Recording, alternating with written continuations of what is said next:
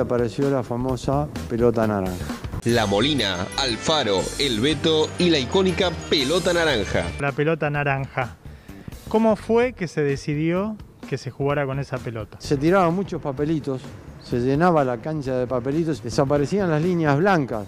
Entonces se pensó entre pintar las líneas de otro color o cambiar la pelota. Se terminó decidiendo cambiar la pelota y apareció la famosa pelota naranja. La pelota naranja apareció un rato en el partido, porque fueron 20-25 minutos que se jugó con la pelota naranja. Viene el centro, Sargati, atención Alonso, gol de River solo, Alonso de cabeza. Después en el segundo tiempo el gol del Beto Alonso lo hace con la pelota negra y blanca porque ya se le habían sacado los papelitos de la cancha. La tarde es soñada para un jugador nacido en la institución es algo que a lo mejor el hincha de River y el hincha de Boca no se lo van a olvidar jamás. ¿no?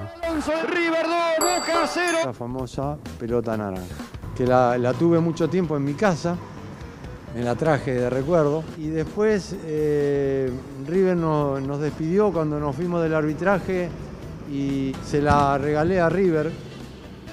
Eh, se la di porque me parecía que esa pelota tenía que estar en la, en la vitrina de River, que creo que está en el Museo de River. Ah, ya está la pelota naranja. ¿Qué- A ver, la pelota naranja del Beto.